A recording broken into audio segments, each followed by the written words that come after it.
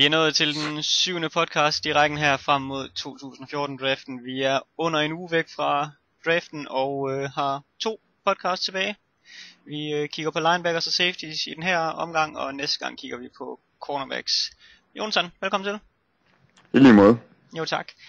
Men øh, ja, vi har to positioner på programmet, så lad os øh, skynde os og kaste os ud i det med, med en kig på, øh, et kig på linebackers. Hvordan, øh, hvordan skal vi evaluere en, øh, en linebacker? Jamen en linebacker skal i mine øjne først og fremmest have ja, både instinkt og forståelse for spillet. Det er tradition for at, at er det stadig en, en position, hvor man ofte har holdets kaptajnen på den spiller, der dirigerer de andre spillere inde på banen fra den defensive side af. Øhm, og så er det så er det vigtigt, at det er, at det er en hurtig spiller. Det er blevet, det er blevet vigtigt, at de kan præstere noget i pass coverage, fordi at Titans er, er blevet så dygtige pass catcher, som de er blevet. Det er vigtigt, at de kan komme fra side til side og lave spil. Øhm, de skal kunne komme fri af blokeringer. Ja. Ja, det, de atletiske evner er, er, er i højere grad øh, blevet vigtige her med, med tiden, og jeg, jeg vil sige, det gælder måske ikke mindst, hvis vi snakker på, øh, på ydersiden i, i et 4-3 forsvar i hvert fald. Hvis vi ser, hvis vi ser på 4-3 outside linebackers kontra 4-3 middle linebackers og 3-4 inside linebackers, så vil jeg sige, at jeg vægter teknik og atletiske evner en smule højere på, på ydersiden i, i 4-3 forsvaret, hvor instinkter er øh, i top hvis man snakker en, en middle eller inside linebacker. Øhm, hvis vi skal snakke forskellen også mellem en 3-4 inside linebacker og en 4-3 middle linebacker, så vil jeg gerne have en, en spiller i, i 3-4 forsvar, der er lidt større og lidt stærkere end, øh, end den, den middle linebacker, vi har i, i et 4-3 forsvar. Og det hænger jo ganske enkelt på, at der jo kun er tre mand foran i, i, 3-4 forsvar til at, til, til at stoppe øh, modstanderne, ja, til, at, til at stoppe linjemændene, eller tage kampen op mod dem, så man vil ofte komme i de der øh, kampe om, øh, om ja, ved point of attack der med en, øh, med en offensiv linjemand, i, hvis man er en 3-4 inside linebacker. Så. Det, det er rigtigt, det er helt afgørende, som især 3-4 outside, eller undskyld, 3-4 inside linebacker, at man kan komme fri af blokeringer. Øhm, men man kan så også sige, at, at som regel så bliver det, eller ofte der bliver det delt lidt op i et 3-4 forsvar, at du, du, har, du har jo to inside linebackers, og den ene af dem kommer ofte bare til at rende op og tage imod blokeringerne, hvorimod den anden sådan set skal, bare skal, skal være playmakeren ved siden af ham, som, som laver forarbejdet. Øh, I princippet kan du sammenligne det lidt. En, den ene inside linebacker med en nose tackle. Selvfølgelig er det ikke i nærheden af at være samme type spiller. Men selve opgaven i at, at tage blokeringer og skabe plads til, at andre spillere kan, kan lave spillene, de inside linebackers findes der også i ligaen. Ja, altså, der er jo også der er, der er jo også nogle der er også nogle forsvar, hvor, hvor man ser, at øh, for eksempel for den Niners, at, at de to inside linebackers, de har der, det er jo rent faktisk begge, kan man sige, de her klassiske Mike linebackers jo. Hvor, øh, hvor mange andre, de kører med den her, de kører med en Mike linebacker og en Ted linebacker, altså hvor de mm. med, med forskellige spillertyper, og det, hvor, altså for den andre, der er det identiske typer, de, de, de kører med. Ja, det var lidt det, det jeg snakkede om der, at, at ud fra de typer, jeg fortalte om der, så var tæt linebackeren, det er ham, der kommer til at tage lidt imod blokeringerne og Mike linebackeren er ham, der laver spillene. Ja, og det er jo, kan man sige, Mike linebackeren, det er jo også ham, der laver spillene i et 4-3 forsvar i hvert fald. Ja. Øhm, og, og ja, altså, du, du nævner også selv det her med, med, at man gerne skal kunne være en leder, og det, det ser vi jo også typisk, at det er, øh, især inside, det er jo på inside linebacker position, man finder forsvarets kaptajn, forsvarets quarterback, om man vil. Så, øh, så lederevnerne skal selvfølgelig også vægtes en, en, en smule højt hos, øh, hos en inside linebacker. Selvfølgelig skader det ikke, at man, øh, man har en god ledertype på en anden position, og det er ikke fuldstændig en dødsdom over, over en draftstock, hvis man ikke er en super leder, hvis man er middle linebacker. Men det, det hører der med i, øh, i, med i den samlede evaluering, om man er, man er i stand til at rally the troops, som, som man jo siger. Øhm, hvis vi skal... ja, men altså, du, du nævner egentlig også selv det her med, med at komme af, af blokering, og, og der, der er helt enig også, at det, det er jo øh, det er også vigtigt vigtigere for, for en inside linebacker. Øh. Til gengæld vil jeg sige, hvis, hvis man kigger på, på outside igen, at der, der vægter jeg måske både evnen til at, til at kunne dække op, og evnen til at kunne, kunne stoppe løbet en, en lille smule højere. Øhm, fordi altså der er bare, der, der er man også, ja, man er på ydersiden, så der, der er lidt, øh, Ja, der, der, er ikke, der er ikke helt den samme trafik der. Der, der er lidt mere spil i åbent rum, end der er for en, øh, for en inside linebacker. Øhm, så så der, der er det lidt vigtigt, at de, at de er i stand til at kunne, kunne stoppe, hvad der nu kommer imod dem.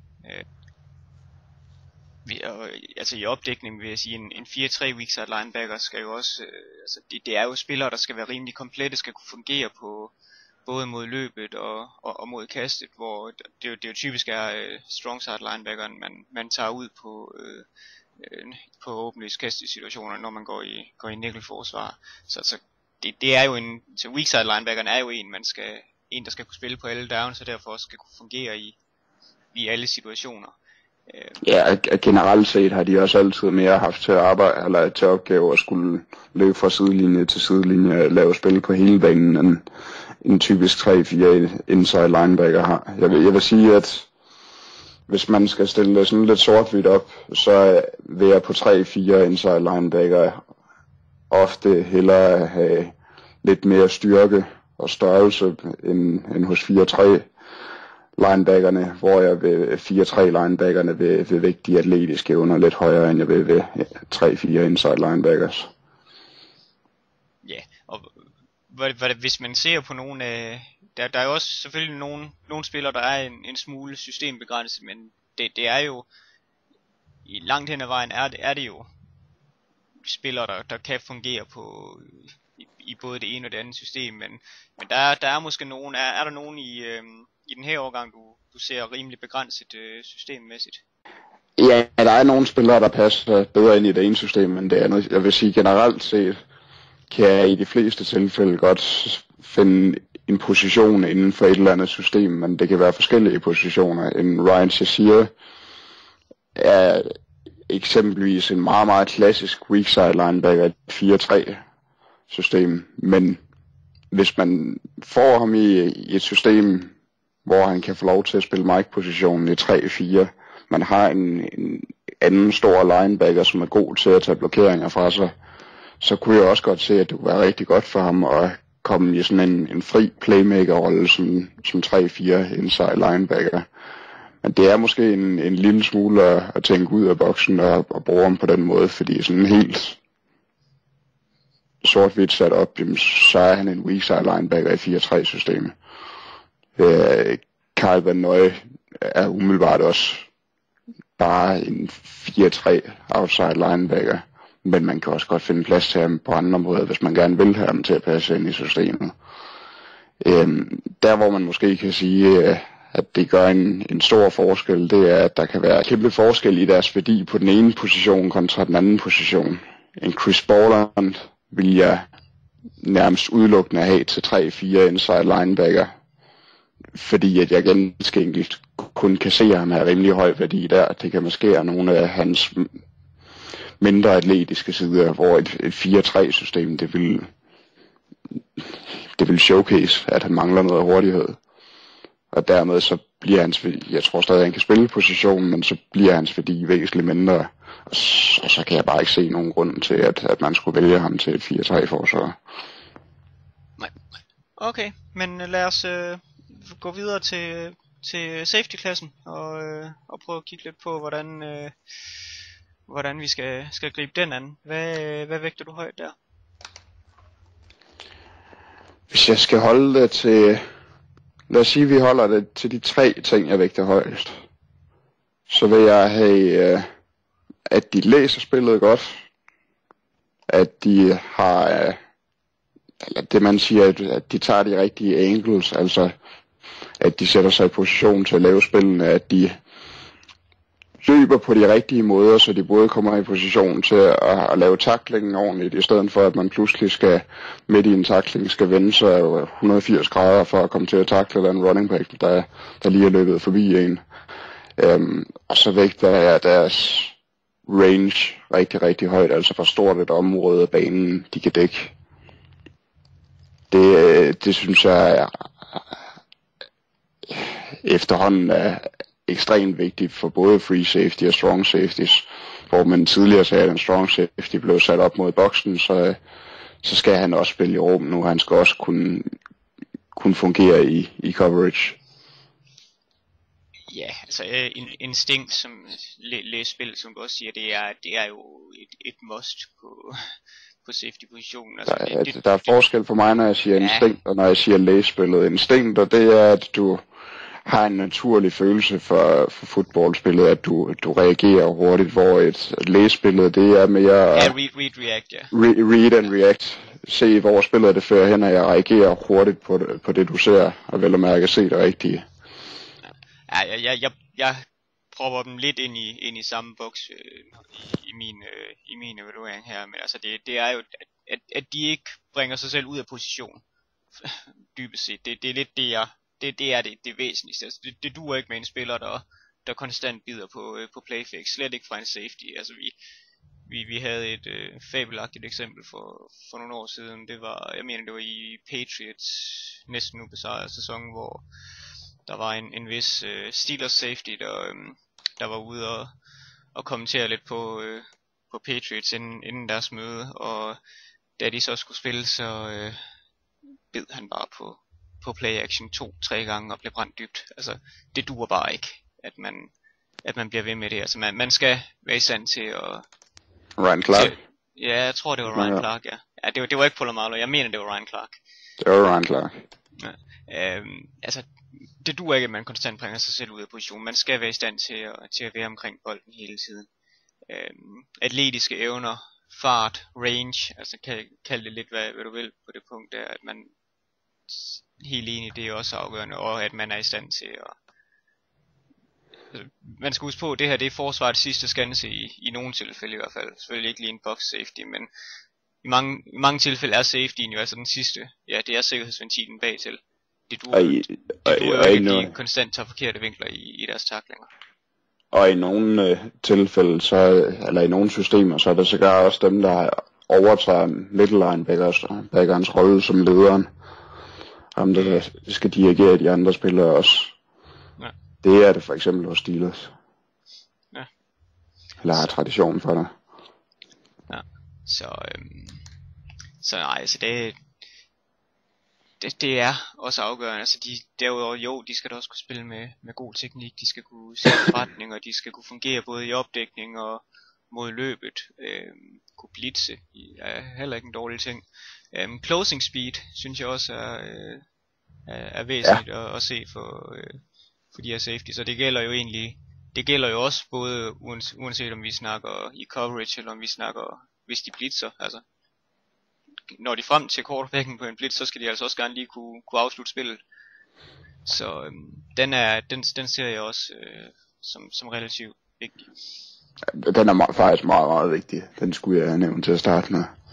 Fordi, øh, også fordi, at safeties, de jo ofte kommer til at skulle læse og så reagere på det over for det, der sker længere ned ad banen, hvis de skal lave et, et spil på en, på en dyb bold. At det, øh, det kommer de kun til, til at kunne, hvis de, ja, hvis de har den closing speed, der skal til at reagere hurtigt nok på det, de lige har læst. Ja. Hvad, vi har måske allerede lidt været omkring det, men så hvis vi skal snakke forskellen mellem en, en free safety og en strong safety, hvad, hvad, hvad kan vi fremhæve der? Jamen, der, der, er, der er ikke markante forskelle på det i, i lige så stor stil i dag, som, som der har været traditionelt set. Traditionelt set, så er strong safetyen nærmest en, en, en lille linebacker, der skal gå op og hjælpe mod løbet. Det er en in-the-box safety, som, som bliver en, en ekstra forsvarsspiller i, i løbespillet på alt det, der sker på den forreste del af banen, hvor en free safety vil spille længere ned af banen og være, ja, sidste skanse. Ja, så man kan sige, hvis det endelig er, altså box safetyen, det er måske mere, at, der er det måske mere en fordel, hvis de kan blitse, hvis de kan stoppe løbet, hvis de kan dække, øh, dække en, en tight end også for den så skyld, hvor, hvor free safetyen, der, der snakker vi måske i højere grad det her med, med range, og, øh, og, øh, og men, men også ja, read react, altså det der med at være i stand til, til at overskue spillet. Ja, for, for strong safetyen er, en meget, meget undervurderet ting af, af spillet, altså også endnu vigtigere end for free safety, næsten selve taklingerne. Mm. At de kommer op og, ja, det ved jeg ikke, om man kan sige, at det er nu vigtigere end det er for en free safety, fordi free safety, han må heller ikke miste nogle taklinger ned ad banen, fordi så koster det en touchdown. Men, men for strong safety vil man ofte komme til at se mange flere taklinger, og det er, så jeg er træt af, at det er en af grundene til, at, at jeg ikke er særlig høj på den her safety class, kan jeg godt afsløre allerede nu. Det er, at jeg synes, der er ufattelig mange dårlige takler i, i college football, og jeg er træt af at se på det. Fordi de får ikke lov til at gøre det i NFL. Nej, der, der, der, der bliver det lidt, øh, der bliver det hurtigt lidt kritisk, hvis de, hvis de dummer sig på det punkt der. Det, altså vi, vi så jo med en... Øh, Øh, der, er så, der er så mange safeties, der er mere optaget af at lave et stort hit, end af at lave en, en god takling, hvor du får armene ordentligt rundt omkring den spiller, du takler, og får ham ned i jorden. Ja, tak, takkelteknik er, er tak, noget, der... Takkelteknikken er, der halter. er væk. Og det, altså, vi, vi havde det også sidste år i, med en Bakary Rainbow for eksempel. Altså, han blev også udstillet på det groveste i nogle af, nogle af hans kampe i, allerede i preseason, jeg mener også, han blev i løbet af sæsonen. Altså, fordi det var jo også det her med, at han, han kaster, sig, kaster sig ned i, ned i en, i en modstander i håb om at, om, om, at, om at lave taklingen, men altså, alt der hedder teknik, det var ikke eksisterende.